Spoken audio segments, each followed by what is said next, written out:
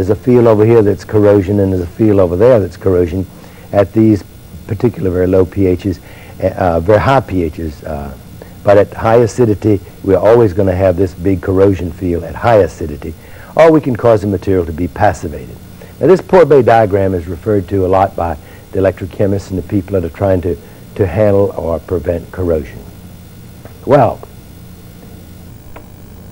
we need to look at a lot of things now because this is, the, the model that the electrochemist uses to think about the whole affair. Uh, to me, it's being a metallurgist and not electrochemist, it's a little bit more convenient to look at this situation a slightly different way. And I know that my friends who are electrochemists, and we have a big group in my school that are electrochemists, they don't particularly like for me to do this because they like to word it in their words. But I think my words may help you understand it a little bit better, and I'll tell you about some experiences, and I think that uh, you, you can visualize what's happening in corrosion uh, pretty well with it. Now, actually, uh, I think that there are only three types of corrosion. In your uh, book, you're going to find out that there are going to be three types of corrosion also listed. So it isn't that I'm telling you something different than the electrochemist is telling you. I'm just going to use some different words. Actually, the electrochemist uh, would say that there are two basic kinds of corrosion, and they're going to be wet and dry corrosion. And if you have a metallic material in an atmosphere where we're going to have condensation of moisture or liquid surrounding it at all times, material in seawater, whatever it is, if we have the capability of having any aqueous film on the surface, then we're going to have wet corrosion. But then he says there's something that's called dry corrosion. Now, I say that there are two kinds of corrosion, and they are solution corrosion and compound formation. And I'm talking about exactly the same thing that the electrochemist does. When I say that there's a compound formation as a form of corrosion, he would be calling this dry corrosion and saying that you can get materials to corrode by compound formation if they're completely dry and generally by elevating the temperature.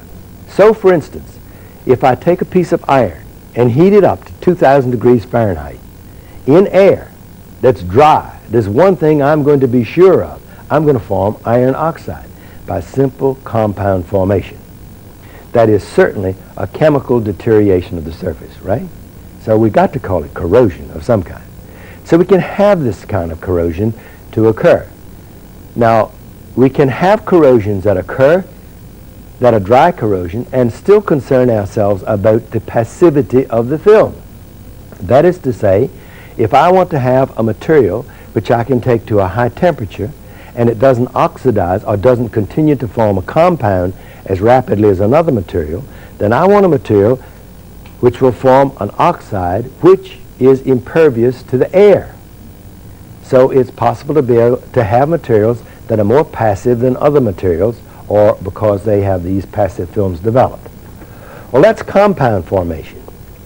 But let's look at dry, I mean, wet corrosion, and let's look at my way of describing wet corrosion, which I think is, is not too different from the uh, electrochemist way, uh, and we have just looked at his way with the ionization potential that we have. But think back to your chemistry course of the fact that you had something called a solubility constant. Now, an electrochemist is going to cause us an ionization potential, right? But you had the capability of, say, putting something in water, a, a material, and it may be, let's say, salt. You, you put a salt in a glass of water, and it will become saturated. And if you try to put some more salt in it, at the temperature you're at, it ceases to be dissolved, and it will retain itself as just the element or the salt that you put in.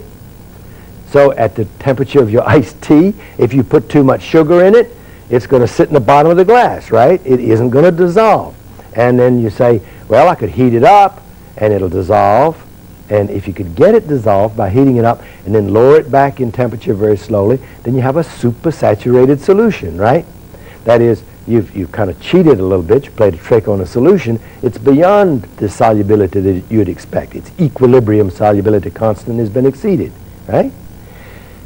Well, then if we have a solution that is going to pass over a material and corrode it by dissolving the material, we can play all sorts of tricks on it. Let, us play minerals for a moment instead of metallurgy. Let, us look at what happens on the face of the earth. We, we have a rock on the top of the earth, and it's called, let's say, limestone. We have calcium carbonate. And here comes rainwater on top of the calcium carbonate. Well, number one, if we increase the acidity of the rain, then we will have a greater solubility of the limestone in the rainwater. For instance, if you say put just a small amount of carbon dioxide in the water, you will change the solubility in parts per million by an order of magnitude, or sometimes two orders of magnitude of, say, dolomitic limestone in water. So here we need something to saturate the rainwater with carbon dioxide. And, and you know we have these little helpers out there that do this for us, and they're called aerobic bacteria, and they live in the top few inches of the soil, and they chew away at the organic material, and they metabolize and generate uh, carbon dioxide, which dissolves in the water, the rainwater as it comes down. And that mixes with the limestone and dissolves the limestone, and it goes down through the earth. It percolates down through the earth and comes out in, let's say, a cavern. And when it comes out in a cavern, it's going to be dripping from the roof of the cavern, which is going to be cold and also probably going to have air currents passing by it. So number one, it could evaporate the water.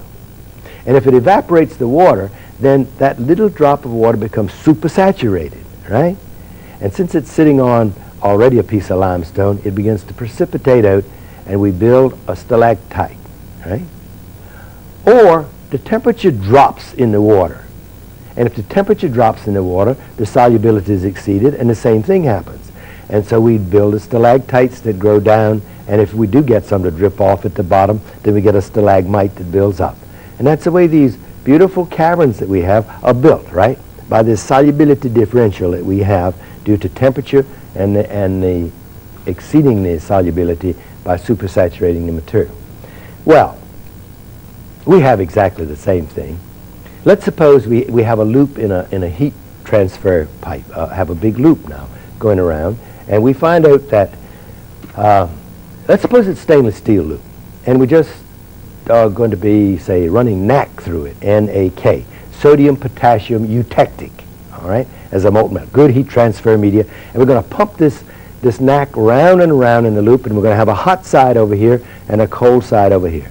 The solubility of stainless steel in, in sodium potassium eutectic is very, very low. And I mean very low, way out in the decimal places, even at the high temperature. But it is something, right? It, it, there is a slight solubility. And this material now is pumped around on the opposite side where we're going to give up this energy. That says it's going to be coal. And now the solubility is even less. And so the tiny little bit of nickel and chromium and iron that we would dissolve out of the stainless steel on the hot side is now deposited over on the cold side.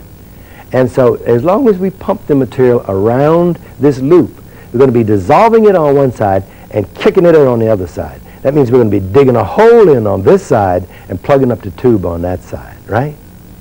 Now this is called what I call solution corrosion.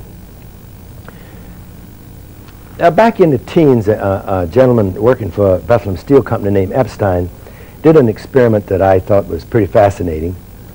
And what he did was, uh, he was interested in this business of uh, oxidation of, of iron and he, he took a nail, two fresh nails off of a nail mill, and he degreased them, make sure they're perfectly clean. They were nice shiny nails. And he took little vials of water, test tubes of water, two test tubes of water. And he didn't want any air dissolved in them. Well, suppose you don't want air in your water. How do you get it out? Two ways. Either freeze the water and it gets burped out, or boil the water and the air comes out. So he boils the water, puts them in the test tube, puts it in the test tubes, takes his two nails, clean nails, put them in a test tube. He plugs one of them up with a stopper, and the other one he leaves open to the atmosphere.